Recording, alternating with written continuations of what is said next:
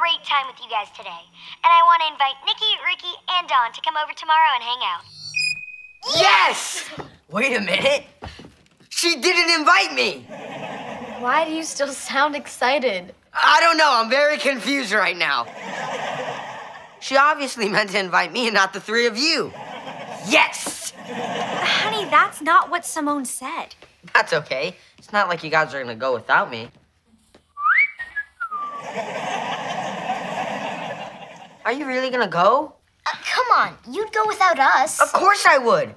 But that's the way it should be. Honey, I'm sorry. I know you guys are quads, but you can't expect to be included in everything your brothers and sister are.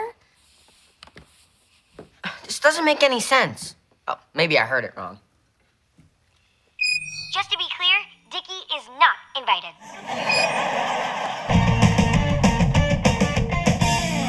These hoodies are so comfy. I call those the hoodie do. Why?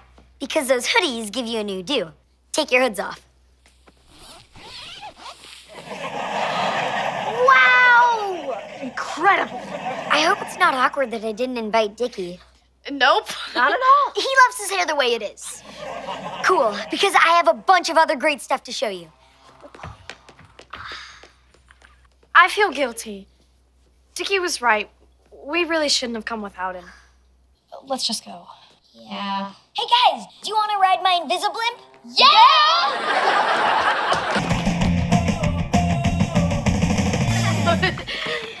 Uh, hey, Dicky. What's up, dude? Hey, you.